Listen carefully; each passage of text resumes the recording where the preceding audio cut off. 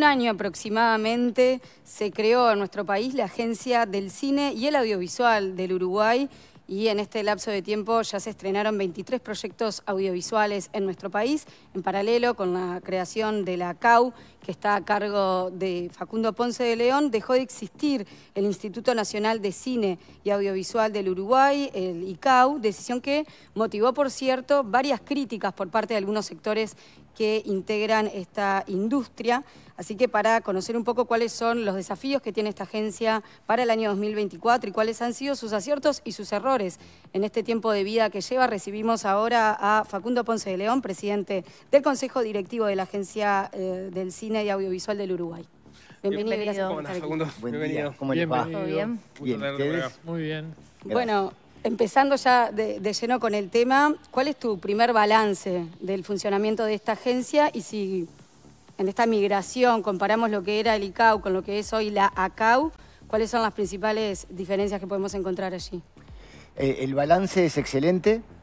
Eh, hablabas al principio de las críticas y los miedos que tuvo el nacimiento, efectivamente así fueron, y hoy eh, creo que están disipados y hablo no de personas, sino de, los colectivos que conforman este sector. O sea, hablo de Asoprodo, hablo de DGU, hablo de Gremio Cine, hablo del colectivo de los animadores. Están, forman todos parte de la mesa y hoy hay como un mapa de ruta este, que creo que consolidó la institucionalidad de la agencia. La agencia está consolidada, va a seguir y era un cambio necesario, más allá de estos problemas que tuvo en su, en su nacimiento. Entonces, desde ese punto de vista, el balance es excelente, porque se confirmó que esta nueva institucionalidad es mejor para el desarrollo del sector. Ahí está, ahí, hay una, discusión que de hecho era una reivindicación incluso de quienes en su momento este, tenían este, incertidumbre sobre lo que podía pasar, que era eh, evolucionar de un, eh, de un, instituto, de una institución a una agencia, le daba ciertas ventajas este, a, la, institucionalidad, valga la redundancia, para poder moverse más, más rápido ¿no? en el desarrollo del cine. Eh, Uruguay tiene una, buena tradición de agencias, es decir, de organismos públicos que se rigen bajo el derecho privado para impulsar un sector. Si tú vas a la historia de todas las agencias, en el momento que nacen, pasó lo mismo que pasó con la CAU. Hoy nos olvidamos, pero cuando nació Saibal pasó lo mismo, que es una agencia. Hoy nos olvidamos, pero pasó lo mismo cuando nació la ANI y la Universidad de la República estaba, ¿cómo que es esto? Que una agencia para la investigación y hoy está completamente consolidada. Pasó lo mismo en su momento con Uruguay 21 y si no, es, eh, no era lo que tenía que hacer el Ministerio de Relaciones Exteriores.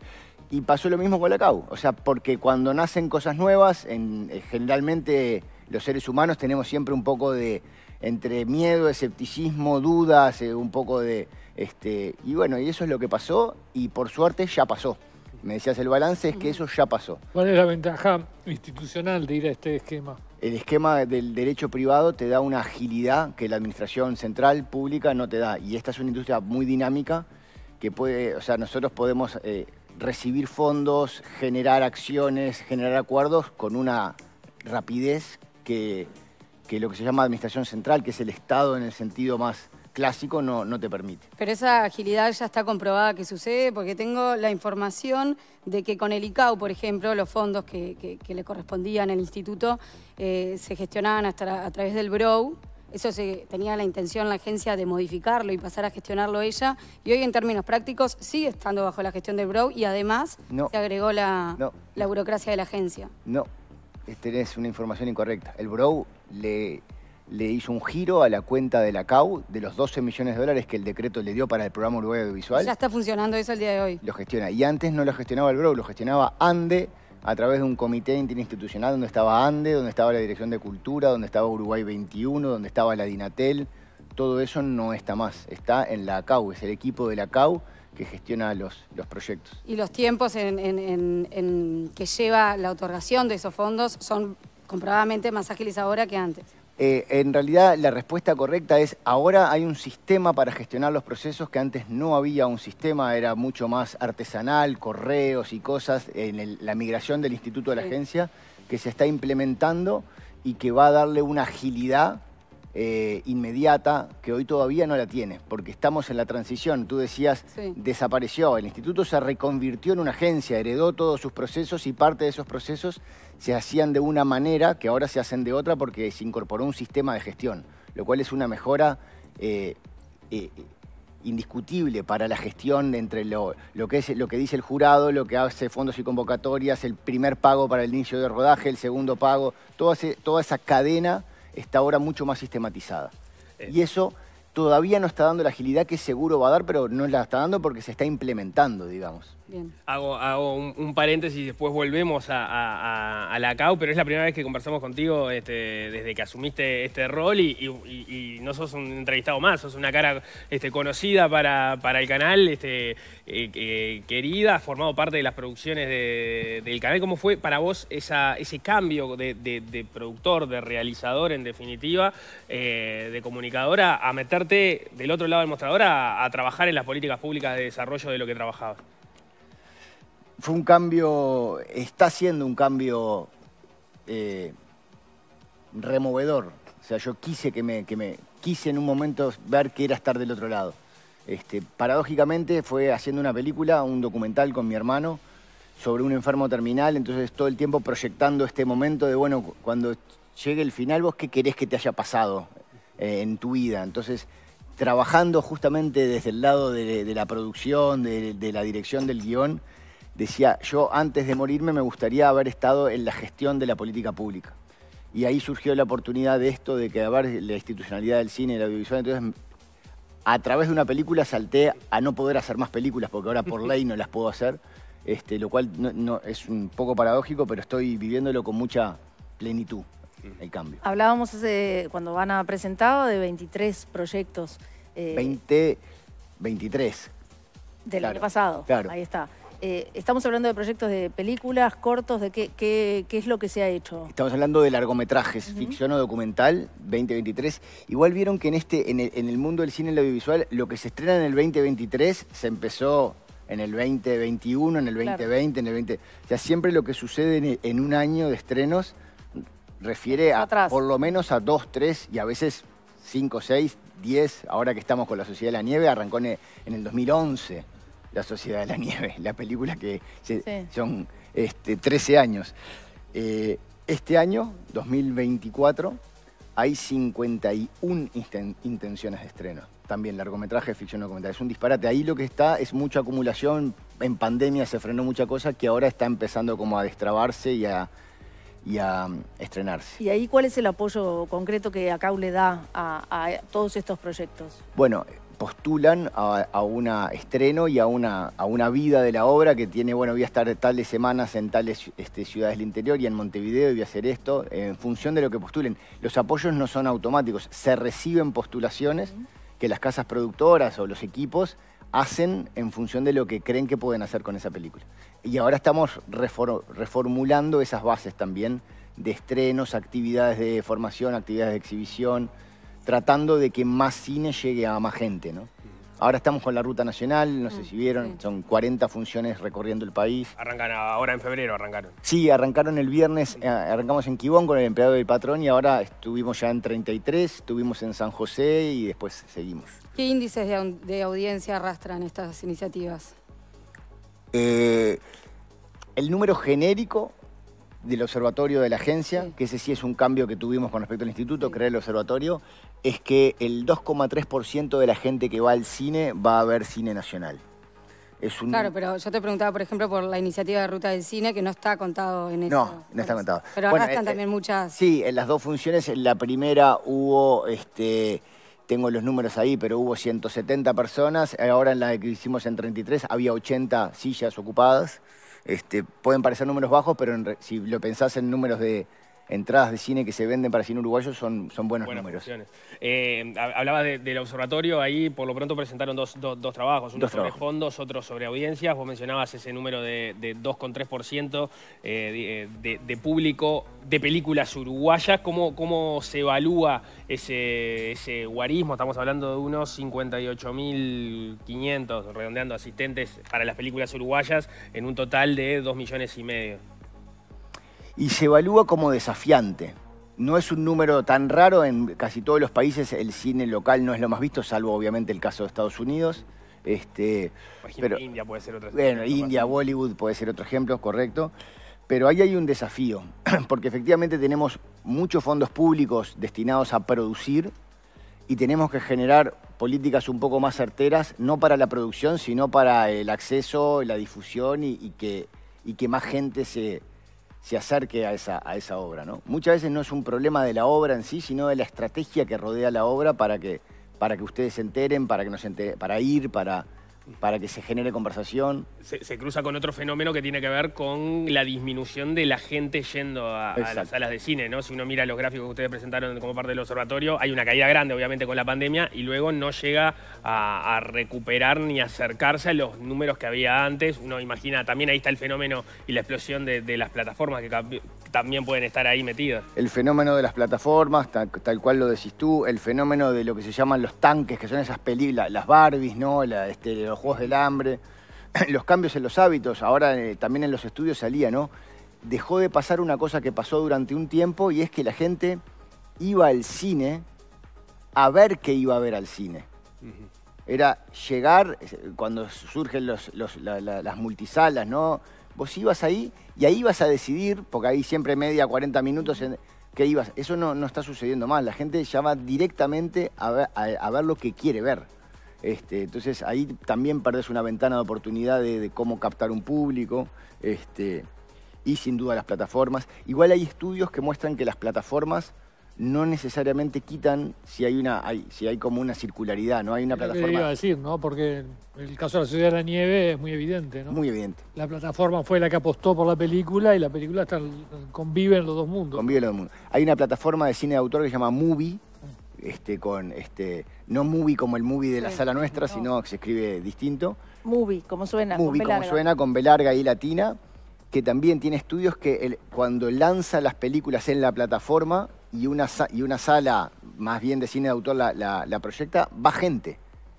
O sea, como que ponerla en la plataforma también le lleva gente a la sala. Entonces ahí hay algo que es un fenómeno interesante. Y desde la agencia, ¿cómo, cómo, cómo lo entienden el fenómeno de la plataforma? Porque es la agencia del cine y el audiovisual, pero no va a decir, bueno, en realidad las plataformas este, también pueden llevar contenidos de producciones uruguayas y eso es audiovisual y es parte de los cometidos de la agencia. Exacto, como eso. Pero, ¿y qué tan difícil es justamente eso? Llegar a la plataforma, poner un contenido en cualquiera de las plataformas que están en la vuelta? Bueno, son diferentes mecanismos. Tenemos, nosotros tenemos en Uruguay el caso de Luis Ara, que es un cineasta que trabaja muy bien con las plataformas. Tenemos el caso de Alelí, que en pandemia estuvo en Netflix con, singular éxito también. Eh, es una tarea que ahí son las casas productoras, ¿no? no hay una política pública para la llegada a las plataformas porque las primeras reuniones que tuvimos con las plataformas es no existe esa política pública. Esto es un, es un, siempre es un mano a mano. No, no, no, es imposible que Netflix diga a partir de hoy apoyo las películas uruguayas. ¿Qué película? ¿Cuál? ¿Con qué duración? ¿Con qué tema? Es como un caso. No, se puede hacer algo. Lo que sí hay buen, buena relación, ¿no? Este, buena relación con ellos, con Amazon. También está YouTube, que también es una plataforma y es de libre acceso. Y ahí estamos trabajando mucho también de. Porque los números hablan que es por lejos la que más se usa también. ¿Y cuánto cuesta poner una película? Te, estoy hablando desde la ignorancia absoluta, poner una película en YouTube. Nada. Nada, podés, hacerlo. La conexión a internet que tengas, mm. depende, la película es tuya. Si tú pones una película que no es tuya... Eh, Tenés que pagar los derechos. bueno, claro. Te, cuesta una denuncia o te cuesta una, demanda. Claro, si vos, si nosotros ahora hacemos un documental de la historia de desayunos informales y nosotros somos los dueños de los derechos de explotación de eso y la queremos subir a YouTube, no nos cuesta nada. Ahí está, pero los dueños de los derechos Pueden hacerlo. Pero ahí sí puedes hacer una política, este, se está dando así la charla, pero ahí sí puedes generar una política desde la agencia de decir, bueno, vamos a ordenar un poco nuestra biblioteca y utilicemos una plataforma donde hay mucho tráfico que puede acercar gente y que eso repercuta. y eso está pasando a nivel de la idea, agencia. Es una idea que está sucediendo en estos instantes. En, los últimos años Uruguay se consolidó mucho en este rol de servicio a nivel audiovisual, donde viene este, una productora grande de afuera, con una idea ya definida, lo creativo definido, trae sus fotógrafos, sus productores y acá le damos el servicio, la mano de obra, ejecutar lo que ya se creó afuera. Está bien, es un rol nuevo, nos consolidamos, somos competitivos, pero mi pregunta es, eh, dirigir mucho los esfuerzos desde la CAU a esto no va en detrimento de fomentar el desarrollo de la producción nacional. No solo no va en detrimento, sino que las nuevas bases PUA, que son las primeras bases PUA que creó la agencia, tienen un, este, incentivo económico para que eso que tú acabas de contar tenga un pequeño cambio y ese servicio de producción diga, pero no hacemos todo afuera. queremos que parte del guion se haga en Uruguay. No hacemos todo afuera, queremos que lo que se llama cabezas de área, dirección de arte, dirección de fotografía, sea también en Uruguay. Si, si el servicio de producción hace eso, nosotros le damos Un más beneficio. dinero, un beneficio extra para que no sea o la creación 100% uruguaya o el servicio 100% extranjero. Estamos tratando de generar una intersección entre estos dos mundos y ya lo cambiamos. De hecho, las nuevas bases PUA ya lo cambian. Eso te iba a preguntar, porque vos lo anunciaste, lo de las bases PUA hace algunos meses, y quería preguntarte justamente si eso ya está en marcha, ya está, Ya está en marcha. funcionando. Ya está O sea, funcionando. hay, hay contrataciones de guion. No, no, ya está en marcha las bases. Sí. Después, eh, ahora se reciben las... Todavía no se materializó Claro. Eso en proyectos. Bien. ¿Con qué dinero se maneja la agencia? ¿Qué presupuesto tiene y de dónde sale? Se maneja con tres presupuestos que salen de eh, rentas generales, los primeros dos, 40 millones de pesos para funcionar, 54 millones de pesos para el fondo de fomento, y después se maneja con un decreto año a año en función de las regalías del BROW Bien. para el desarrollo del programa Uruguay Audiovisual, que en este año fueron de 12 millones de dólares, y ahora vamos a ver cuál es el siguiente. O sea, la agencia se maneja con dineros eh, públicos, no tiene un retorno de la industria, digamos, o de su actividad. No, este año conseguimos también un apoyo del, del BID, una cooperación técnica. Y bueno, parte de lo que estamos teniendo ahora como agencia, como novedad, es que podemos tener ingresos de privados. Vos podrías terminar esta nota y decirme, che, quiero aportar, este, quiero tener un fondo. Estamos en conversaciones con las CAF también. Tuvimos un apoyo privado para ir a Cannes, ¿tá? de un benefactor del Festival de José Ignacio que nos puso un barco en Cannes que fue impresionante, que fue un beneficio en términos económicos muy importante, que son todas cosas posibles gracias a esta, a esta nueva institucionalidad que te permite que venga un privado y diga quiero apoyar. Este, Y en, en ese caso de los privados que puedan apoyar, me imagino, digamos, cuál es el- la contrapartida, qué es lo que obtienen ellos más allá de, bueno, poder direccionar fondos hacia De- algún lugar. depende, ahora es una de, una de las cosas que se están inve- investigando, no en Uruguay, en el mundo entero, por la volatilidad de, de los dineros públicos y todo, son los que llaman los fondos de inversión, donde vos puedas juntar 50 privados, ponerle que hagan un fondo para el desarrollo del audiovisual y se queden con un 2% de las producciones que salgan. Eh, eh, hay distintas figuras financiero-jurídicas para esto. Ujú. Eh, contanos un poco, eh, que, que tiene que ver con esto, cómo está armada la, la política de fondos de, de- de- de la agencia, cómo, cómo funciona, en qué etapas este, apoya y cómo distribuye. Eso que era es, es el otro estudio que hicieron en el observatorio, que era sobre los fondos. sobre los fondos. Eh, capaz que la respondo un poco más genérica, atando este, con lo que hablábamos de- del servicio y la obra. Vos tenías el fondo de fomento, que es fomentar que la gente pueda crear, y después el desarrollo del programa Uruguay Audiovisual, que era como profesionalizar la industria, y ahí estaban los servicios y que lleguen las plataformas. y. Estamos de alguna manera juntando estos dos mundos a nivel de, de- de- de los textos y todo. Entonces vos tenés ahora básicamente fondos para desarrollo, puede ser de un documental, puede ser de una serie, puede ser de una ficción, puede ser de un nuevo contenido, fondos para producir, fondos para postproducir y fondos para estrenar. Esta es la cadena de valor. Lo que estamos haciendo ahora es introduciendo más recursos en el desarrollo y en lo que viene después del estreno dejando un poco los fondos que ya estaban, ¿no? Este, manteniendo los fondos para la producción, porque básicamente es lo que Uruguay sabe hacer bien, desde hace décadas que lo viene haciendo bien, cada vez mejor. Cada vez sabemos más cómo se produce. Sigue faltando tener más fondos, eh, más políticas y más pienso en lo que viene una vez producido. Eso corre tanto para la creación de obra nacional como para este, la atracción de servicios. La, la- la torta, digamos, el global de los fondos este, viene, viene en aumento. Bueno, viene en aumento. Si lo pensás en el PUA, sí. ¿Podemos adelantar algo de cuál es la próxima película uruguaya que vamos a ver? ¿O cuándo?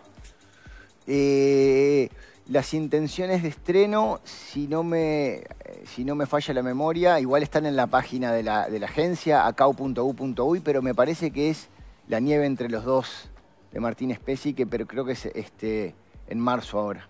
Ah, ahora nomás. Sí. Eh, pero capaz que estoy, capaz que estoy- me estoy equivocando y hay otro estreno eh, anterior a ese.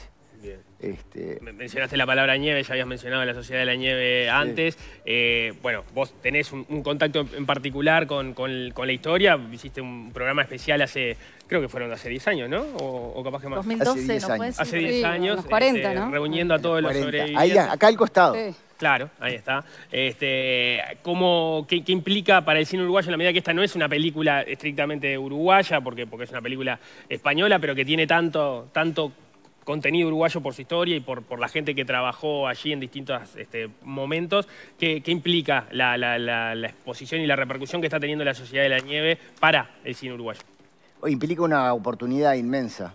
Tenemos la fortuna de que esta película la haya agarrado Bayona, que es un director que se ocupó, se preocupó y se desveló por rescatar toda la uruguayidad, más allá de que, como bien decís, técnicamente es una película española con producción de Netflix, lo que, lo que hizo el equipo español por la uruguayidad de la película es, es impresionante, es inmenso, es infinito, y es con el tiempo, pase lo que pase con los premios, para mí cada vez se va, se va a poner más en valor la decisión, porque es una decisión absolutamente arbitraria de dirección, de decir, no quiero un actor conocido, no quiero que sea en español neutro, no quiero que sea en inglés, me quiero realmente empapar de, desde los detalles de, volver a Berge Rupenian porque estaba empezando sus carreras de locutor, por poner un ejemplo, a poner a los Shakers como la cantidad de detalles netamente de uruguayidad que él decidió poner en la película,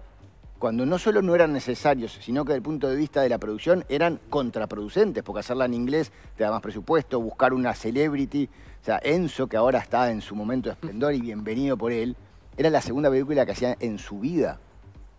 Y es el protagónico, haciendo a Numa. Entonces, este, estamos frente a una oportunidad de que todo el, boom mundial que tiene la Sociedad de la Nieve repercuta en, en cuestión para Uruguay y de hecho estamos desde la agencia trabajando en ese aspecto de Uruguay y la Sociedad de la Nieve. Eh, es obvio que si hay un Oscar para la Sociedad de la Nieve es un, de la nieve es un poco nuestro también. ¿no? Bueno, un poco. es un poco nuestro. El bracito ahí, no sé, un pedacito. Muy bien, Facundo Ponce de León, presidente de la CAU. Muchas gracias por acompañarnos. Gracias. Muchas gracias.